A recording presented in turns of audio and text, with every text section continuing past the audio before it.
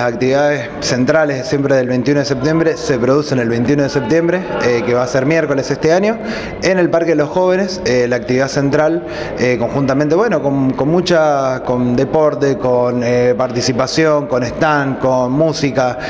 también estamos hablando justamente, ayer tuvimos la Feria Juventud, con los chicos de la Feria Juventud también feriando. La intención es que haya un festejo lindo en el parque, recordando también, bueno, los festejos anteriores que hemos tenido y las oportunidades de este año también en las cuales nos hemos podido encontrar, teniendo en cuenta que el 21 de septiembre siempre es un lindo día para festejar esta llegada de la primavera. Teniendo en cuenta justamente que lo importante es compartir, eh, lo importante es compartir el momento, teniendo en cuenta también de, justamente lo, hermoso que es ahora empezar a juntarnos, abrazarnos, eh, compartir eh, sin ningún tipo de, justamente violencia o principalmente también en el caso de la juventud, fomentando también el no uso de, bueno, de sustancias o alcohol,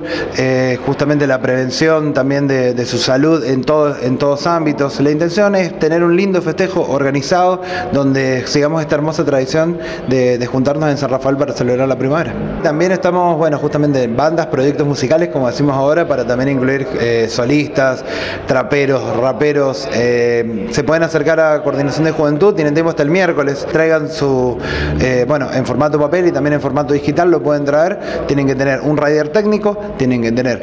una grabación ya sea de la calidad que sea, lo importante es conocer su música y qué es lo que hacen con su proyecto, como también una presentación y foto del proyecto que tienen, para que después de este miércoles eh, un jurado elija cuáles van a ser las bandas, como siempre, las bandas sub 30, las bandas menores de 30 años, que van a poder participar el 21 de septiembre.